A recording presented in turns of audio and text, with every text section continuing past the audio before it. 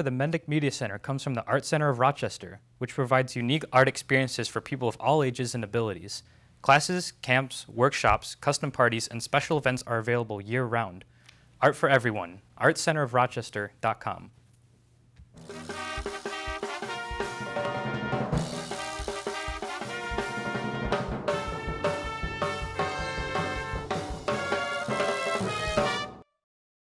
From the Mendick Media Arts Center on Kings Highway South, this is a BK's News update for Tuesday, March 10th. I'm Riley Calhoun, and here's today's news.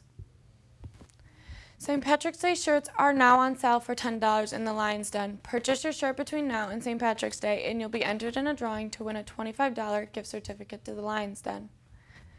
The National Latin exam is tomorrow. If you signed up to take this test, please go to First Lunch and then report directly to your exam site with, of course, a number two pencil. Bona Fortuna.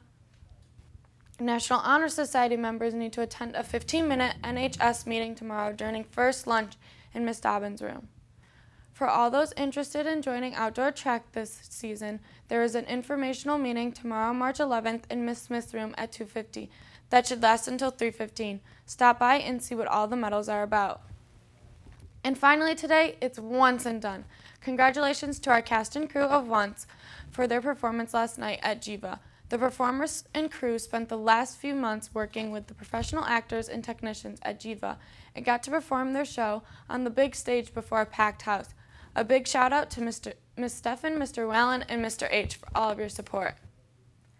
That's your BK News update for Tuesday, March 10th. I'm Riley Calhoun. Remember to wash your hands, and we'll see you tomorrow.